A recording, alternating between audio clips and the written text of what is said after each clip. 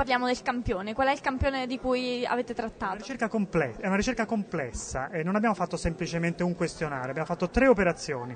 La prima, alcune interviste ai testimoni privilegiati, adulti, per capire la loro visione del problema giovanile. Poi un questionario su 250 giovani tra 15 e 25 anni per capire il loro punto di vista, dopodiché alcuni focus group per confrontarci su quello che erano i primi risultati. Quali sono i dati salienti? Allora, il primo dato che emerge è questo. Dal punto di vista degli adulti, i giovani rappresentano un problema per la città.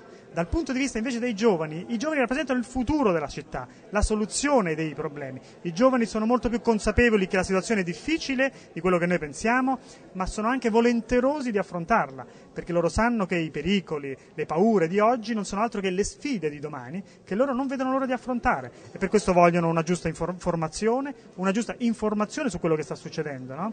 vogliono capire di più di quello, cosa- di quello che sta succedendo e tutto sommato sono anche pronti ad andare fuori per formarsi meglio, per tornare, per dare il loro contributo alla città. Questo tipo di ricerche parte dal presupposto che i risultati sono dei punti di partenza per modificare e migliorare l'azione. Quali sono i punti di partenza che avete assegnato, consegnato voi alla Fondazione Merloni?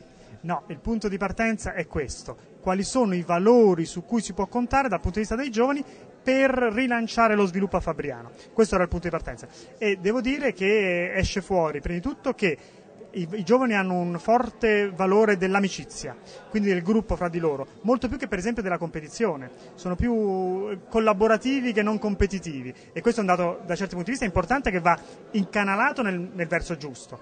E la cosa anche eh, importante è che hanno più etica del lavoro che non i loro genitori. Ricordiamoci, i loro genitori sono la generazione dei quarantenni, non sono la generazione che come loro dicono testualmente, hanno trovato la pappa fatta per quello che riguarda il lavoro. Loro si sentono più simili ai loro nonni, che il lavoro se lo devono conquistare, costruire, al limite anche cambiare, modificare, implementare nel corso del tempo. Questo loro sono più consapevoli che non i loro genitori quarantenni.